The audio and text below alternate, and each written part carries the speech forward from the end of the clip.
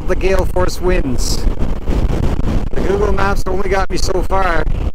It just got me to North Sydney. And then I had to follow signs. Fortunately, they have lots of signs. And there's the ferry way ahead. I don't know if you can see it from here. So we're just got to go down and uh, figure it out.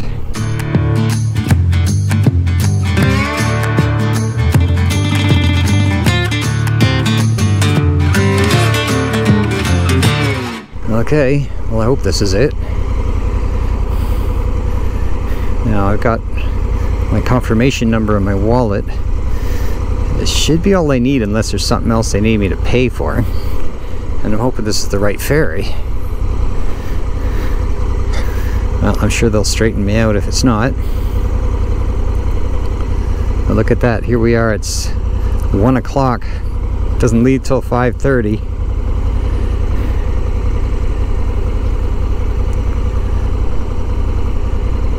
I think this time just to make it easier I'm gonna get right off the bike or it's just too hard to get shit figured out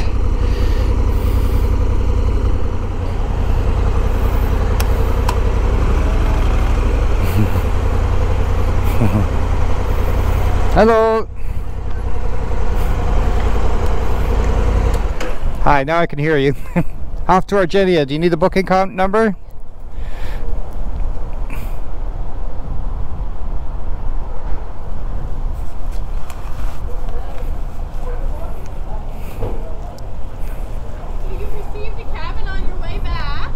Uh, no, the cabin's for the way there.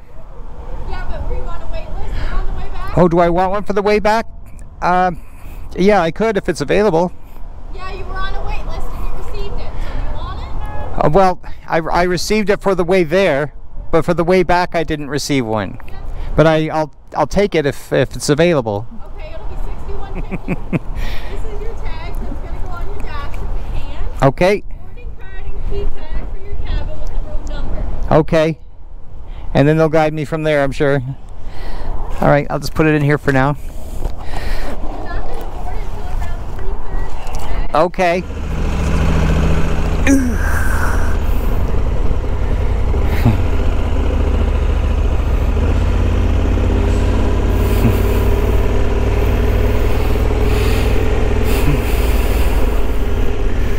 Sorry, first time, so I probably sound like a total noob. What lane do I go?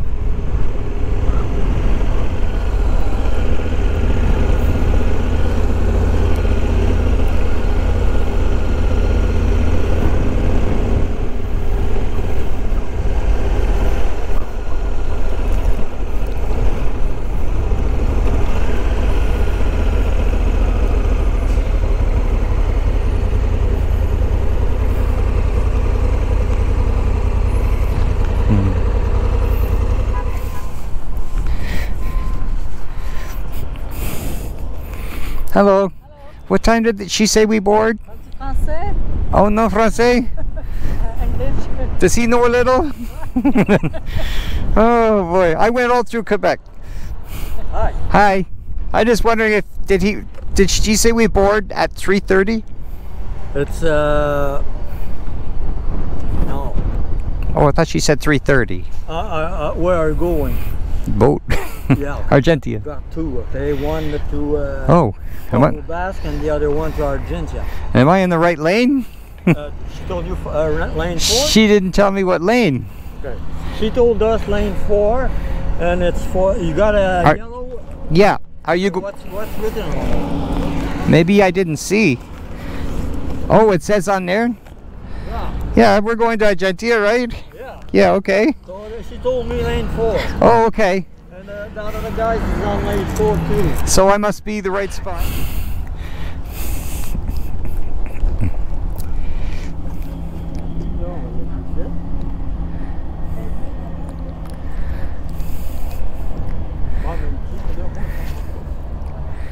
Filming this. so I'm in where you park for the ferry, right here. And uh, it's 1.30, they're not even gonna board till 3.30, so we've got a couple of hours, so I'm gonna look into this fuse issue. Uh, I looked online and I found out which fuse it is. It's that 10 amp fuse, third one up on the left. it shares with the cornering lights. So if I could find a 10 amp fuse, I can fix it. So now I need to get some tools out just to try and uh, get that out because I can't seem to pull it out with just my fingernails. But if I pull it out, what's the point? I still need another 10 amp, but I'd like to look at it, see if it's blown. Well, I found it. I got it out and I checked it. And yeah, this one I think is blown because it's all black in the middle and I compared it to another one which is just nice and solid brass. So it's definitely the fuse, it's blown. I guess I should have brought some fuses with me if I knew this was going to happen on my trip. What I'm wondering is if I can't get one right now, I'm wondering what I if I could possibly switch it with the next 10 amp fuse up, which is G heater, which is your uh, your I'm pretty sure that's the, the heater for the handlebars, which I certainly don't need right now. Question is, is that the only thing that that fuse runs? Am I am I gonna screw myself up or not? But uh, I could maybe do that. Switch it for the for the glove heater. I mean, what else would it be for? But I'm gonna wait and just see. There was there was one other biker said he does have some fuses, so we're gonna try him first. Aha. So I made it over there. Had to scan out and scan in. Showed my ID again, but I got out Canadian Tire and I managed to pick up some more 10 amp fuses.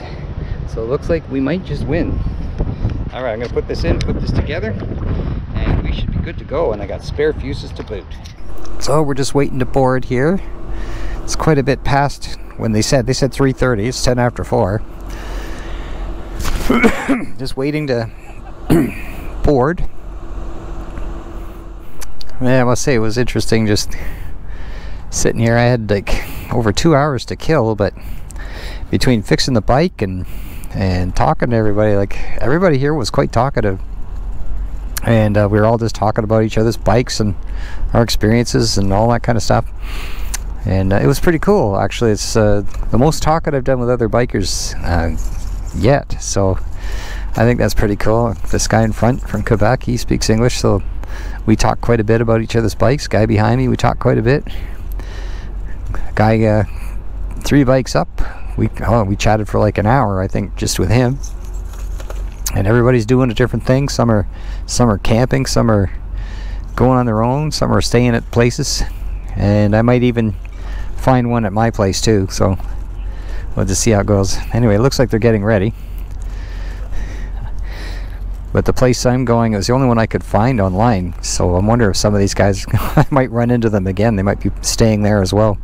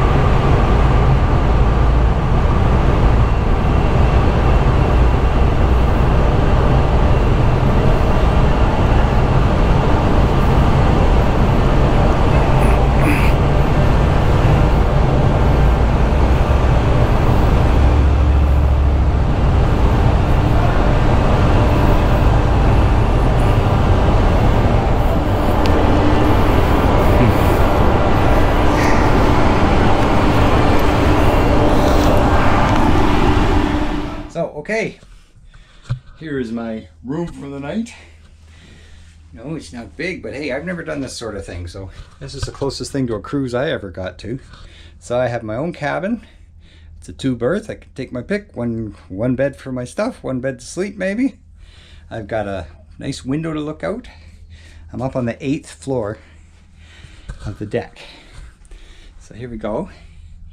So I paid the extra so I can have this because if it's going to be overnight, I want to be able to sleep and I'm not sitting in some chair. So there we go. And I might go exploring in a little bit, maybe we'll let people get settled in first because the hallways are going to be busy. So that's pretty cool. We're up pretty high, eh? Whew. It's pretty high.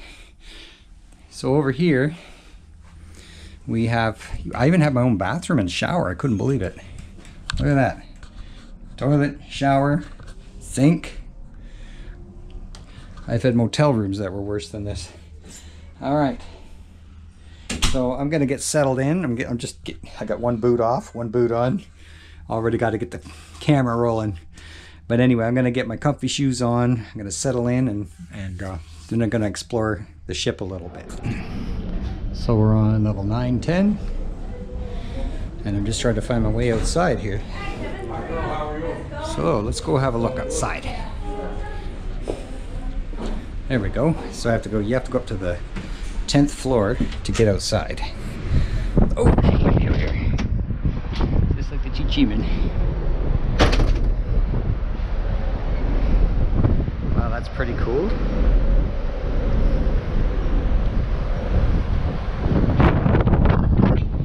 I better put that strap around my wrist for this one.